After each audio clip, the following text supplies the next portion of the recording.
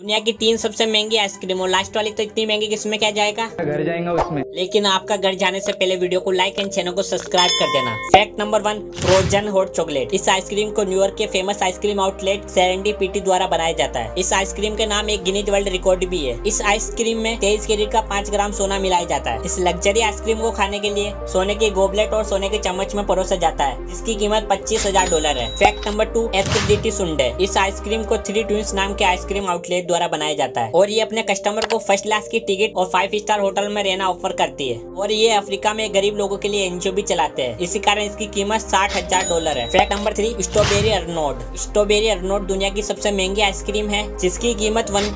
million dollar है ये ice cream new अर्लियंस में अर्नोड के रेस्टोरेंट में सर्व की जाती है स्ट्रॉबेरी को पच्चीस हजार डॉलर की वाइन की बोतल में भिगोया जाता है और जो चीज इसे बेहद ही महंगी बनाती है वो सात कैरेट हीरे की अंगूठी है जिसका उपयोग इस पर सजावट के लिए किया जाता है